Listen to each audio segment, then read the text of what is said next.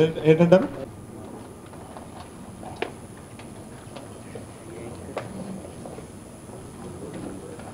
We have been uh, in tie-up with Singapore for the last 25 years, but Singapore has already inducted um, women into the combat force in Navy.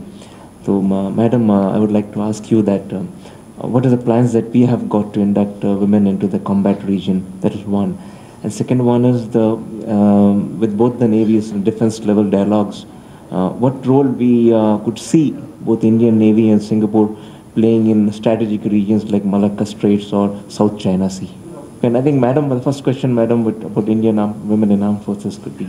Um, See, on the induction of women, the Prime Minister had made a statement during the uh, Independence Day speech from the Red Fort that uh, first of all we'll start with giving permanent commission option for those women who are in the short service commission.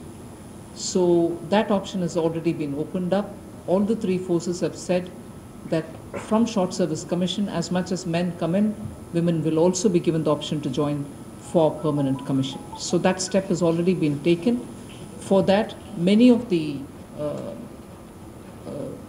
can I call it, department segments within each of the forces, Navy, Army, and Air Force have already been opened up.